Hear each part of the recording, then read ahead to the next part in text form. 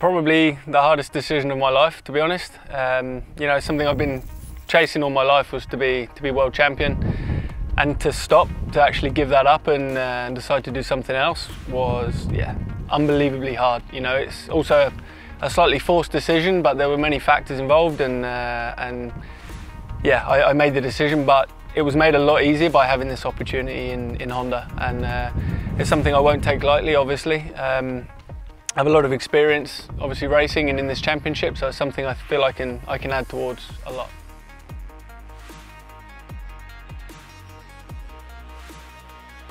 There's a lot of things going on behind the scenes, a lot of work being done in, on every aspect of the bike, um, engine, chassis, uh, electronics as well.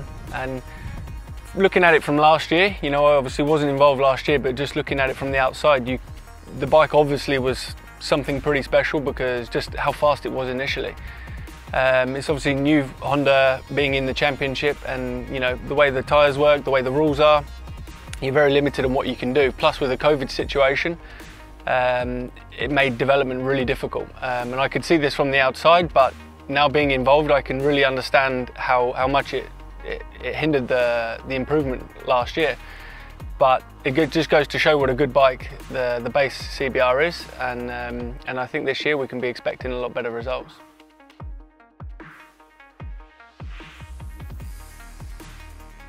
The goal obviously is to, to win the championship but you know to be realistic with the way last year was uh, there's a lot of improvements been made this year as I said but you know we need you need some time you know things have to things really have to go your way you know there's a bit of luck involved as well and um, things are very restricted, as I said, with the rules in this championship. So you can't just be, you know, constantly updating things and changing things. There's a lot of restrictions. So uh, I, for sure, we will make a step this year, 100%. Um, but yeah, we will be aiming for, for wins, but we will see where we end up.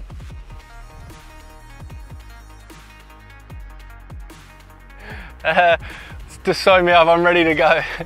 no, I, I, won't be doing that, but uh, yeah, you know, I, at some point it would be nice to, to get back on a bike again just for fun, but at the minute, yeah, I'm, I'm concentrating on, uh, on the team manager role.